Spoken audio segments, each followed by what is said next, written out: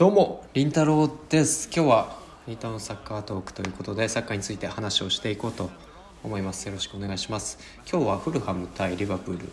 ちょっとね、あのー、6分から5分からのスタートになってしまっているんですけど、いやー、録画ボタンをね、押し忘れました。で、後取り機能を使って15分したら6分からというということであの今回この試合はヌニェスではなくジョタをね最近ちょっとヌヌニェスの疲れというか疲労からくるあれなのか若干調子悪いような気がしたのでジョタをスタメン起用してます。それ以外はほぼほぼでアーノルドは使ってますね。ブラッドリーが怪我をしたということもあったのではい。一応次のリバプールのリーグ戦がフルハムなのでフルハムでやってます相手はね。はい。今日のトークテーマは先日リバプールの高1かな？C ジュニアなので高1の試合を練習試合なんですけど見に行った時の話。何を思ったのかっていうのを話をしたいと思います。このねリバプールの試合に乗せて。はい。あの先週の日曜日ですね。僕の家の近くでリバプールとかヘルタとかドイボルフスブルクとかあとチェコのチームとポーランドのチームかな。あとデンマークからも来てたような気がします。でなんか練習試合親善試合をやってたんですよ。ちょうどね。リバプール。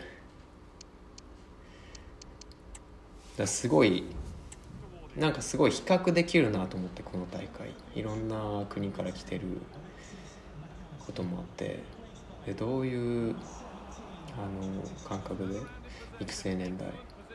どういう育成を各国がしてるのかなとか考えながら見てたんですけど。このリバプールのユース見てパッと思ったのはなんか全然鍛えられてないなっていうのが僕のパッと見の印象。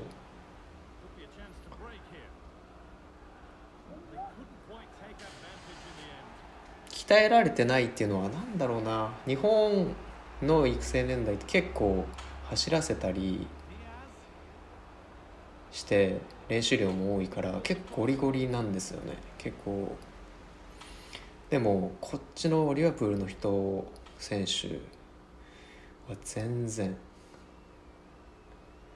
だからパッと体を見て思うのはなんかすごい伸びしろありそうだなみたいな。その体のポテンシャル？まあもちろんすごいのは見てわかるんですけど。でもまだうわ高っ。このファンダイクやばかったな。まだ体できてないけどなんかできたら体がでかくなっていってそういうフィジカル面が伸びてきたらこの選手たちはどんなレベルになっていくんだみたいな選手がたくさんいて。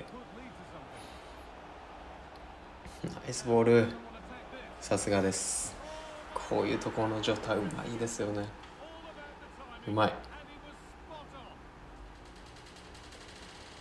次のフルハム戦見せてほしい。まあその前にねアトランタとの一戦あるんですけど本当はその試合やりたかったんだけどアトランタがねあのないんですよ。FIFA 搭載されてなくて。一応チームはあるけど名前が違う。チームなので。できなかったんですけど。そうだからリバプール見た時に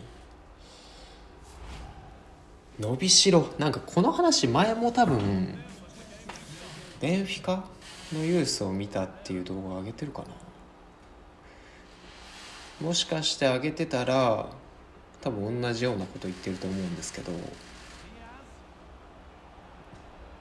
だこれをまあそれこそヘルタとかボルスブルクもドイツではすごい有名な育成組織なんですけど彼らもまだまだ全然っていう感じなんですよね見ると。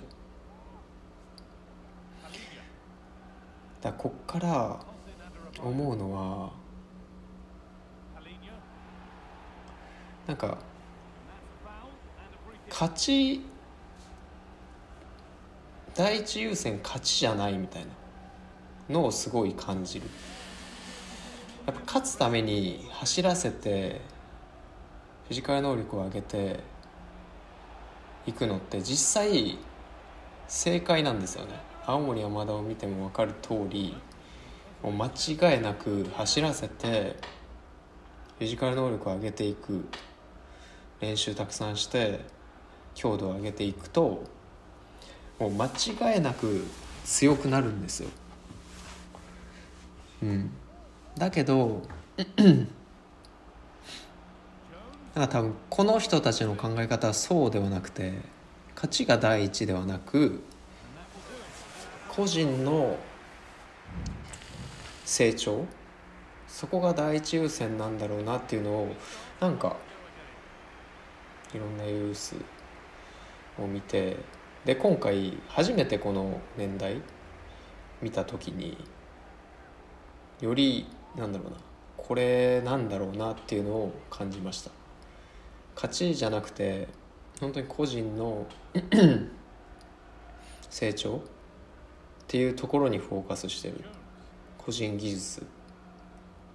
チームの価値ではなく。やっぱりリバプールの監督ももう全然怒んないし本当に選手に好きにやらせてるじゃないけど、まあ、もちろん戦い方っていうのはあの形もリバプールのこのトップチームとほぼ同じだったし一応あるんだろうけど多分一番はこれ惜しかった。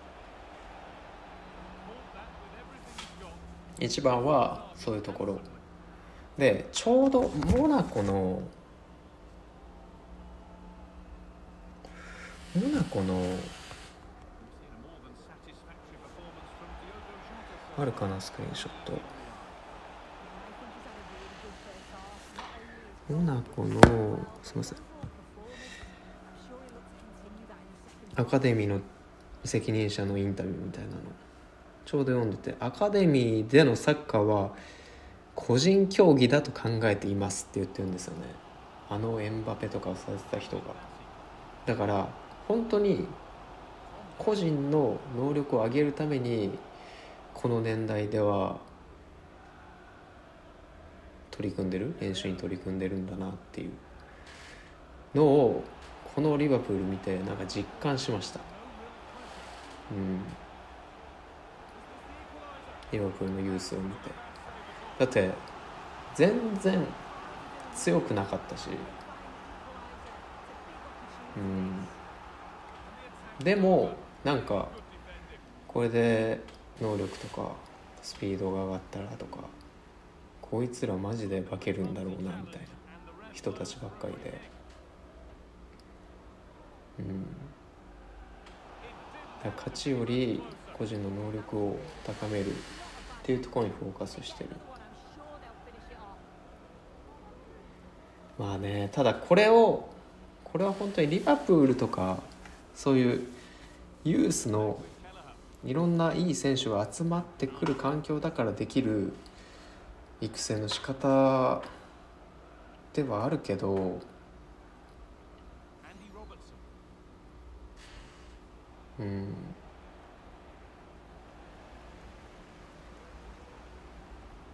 だってセンターバックなんて間違いなくなんだろう。まだ体もできてないしあれなんですけどすっごいなんだろうな。あのこいつすげえボール取りに行くなみたいな。でボール取れるなみたいな。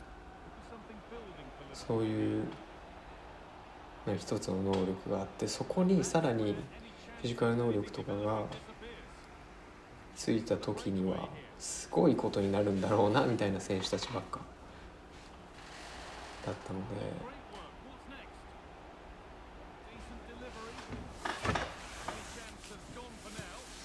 だから基本的に勝ちにこだわるというよりは本当に、うん、個人の能力を高めることに力を使ってるんだろうなって思いましたまあいろいろこういうこと以外にも例えばリバプールの監督めっちゃ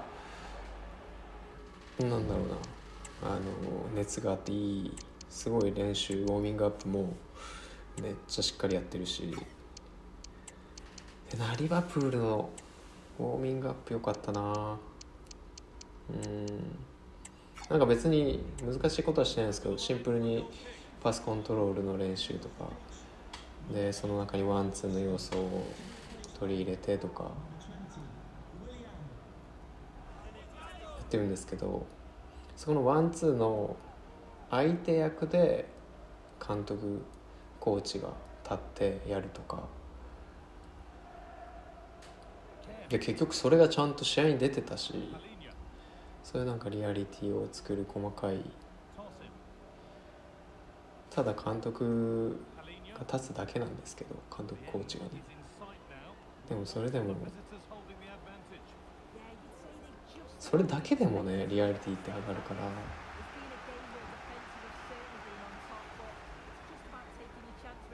結構いいですよね。パスコントロールに新聞コーチとかが相手役として入ってくるみたいな入るみたいな。これはうわーこれ素晴らしかった。このアーノルド。そしてヌニエス。の？ズドンからの？すごいこれマジでリアルじゃない？このヌニエス。このガチャガチャ感というか思い切りの良さというか最後胸で押し込むみたいな。ヌニエスですこれが。ちょっとねサラーからのパスがリアリティなかったんですけどこれ。最高。スーパーゴール。気持ちで押し込む。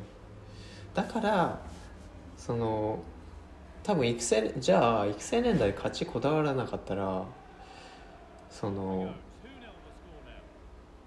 勝ちに対して勝ちへの執着心じゃないけどそういうのがなくなっちゃうんじゃないの？みたいな。こともかんこれね。スーパーゴールちょっとショート上げますこれは。そう。って思うかもしれないんですけどここでもモナコのスポーツディレクターディレクターのインタビューで言ってたことがあってそれこそメンタリティっていう負けず嫌いとかそういう部分を本当に見ているみたいな。そういう選手をできるだけ取ろうとしている。っていうのは多分個人の技術的な部分は教えられるけど教えられるからそういうふうに個人の成長にフォーカスする育成だから多分。だからそういうメンタリティー的な部分をしっかり見極めて取ってますっていうのが多分正解じゃないけどおすごい迫力のあるタックル。そしてガクポガクポのドリブル運んで逆サイド。あ惜しい。そうだから。はいということで、えー、リバプールのニュースを見たらチームが勝つっていうことじゃなくて個人の成長個人をどうやってレベルアップさせるかっていうところをにフォーカスを置いているんだろうなっていうのを感じた感じました。はい。ということで今日はねもし何かあの質問あれば何か質問あればよろしくお願いします。チャンネル登録と高評価よろしくお願いします。まあでもそれよりもなんかコメントくれたら嬉しいです。バイバイ。